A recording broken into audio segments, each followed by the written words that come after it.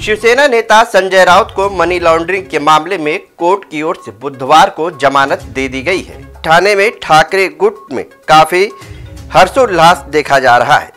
इस मौके पर ठाकरे गुट की तरफ़ से थाने के तीन हाथ नाके पर पटाखे फोड़कर जश्न मनाया गया और साथ ही एक दूसरे को मिठाइयाँ खिलाकर बधाई दी गई। ठाकरे गुट के कार्यकर्ता जो जश्न मना रहे हैं, ये जो बैनर लिए हैं, इस बैनर पर साफ़ आप देख सकते हैं कि लिखा हुआ है, शिवसेना का वाघ एक बार फिर मैदान में वापस आ गया है। इस मौके पर ठाकरे गुट के संजय राउत के समर्थन में जोरदार नारेबाजी भी की गई है।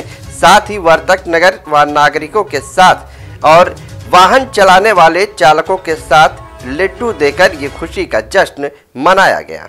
सांगाल आज या ठिकाणी जल्लोष केला जातोय. संजय राऊत यांची आनंद जेलमधनं बाहेर येण्याची बातमी ऐकल्यानंतर जल्लोष करताय.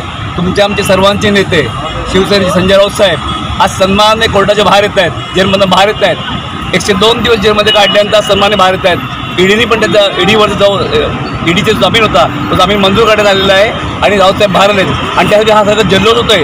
जोरदार जल्लोष आहे. ठाण्यातच नाही आहे मुंबई अख्ख्या महाराष्ट्रात जल्लोष होतोय. सर बॅनर देखील हातात घेतलेले आहेत. सत्य परे परेशान होऊ शकताय पराजित नाही आणि वाघ हा वाघच असतो. त्याबद्दल काय सांगाल? सत्य परिसर होत आहे पराजित सत्य सत्य असतं शेवटी. राऊत साहेबांना आमचे एकशे दोन दिवस ईडीन जेलमध्ये ठेवला. शेवटी सत्य काय होतं? तर राऊत साहेबांनी काहीच केलं नव्हतं आणि म्हणून त्यांना सन्माननीय सन्मान त्यांची नियुक्त म- मुक्तता केलेली आहे म्हणून आम्ही सगळा जल्लोष करतो ठाण्यातला.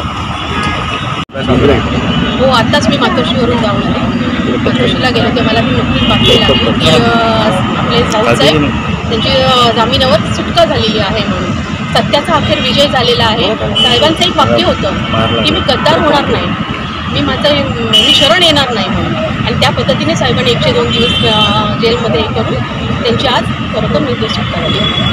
कशा प्रकारे आनंद आहे त्यांची सुटका झालेली आहे? काय नेमकं वातावरण ठाकरे गटामध्ये पाहायला मिळतं? खूप छान वातावरण आहे. महाराष्ट्रामध्ये सगळीकडे जल्लोष होतो आहे. सर्वत्र महिला खुश झालेल्या आहेत कारण महिलांना आज कळलं आहे की खरोखर सत्याचा विजय झालेला आहे आणि यापुढे सत्याचाच विजय होईल.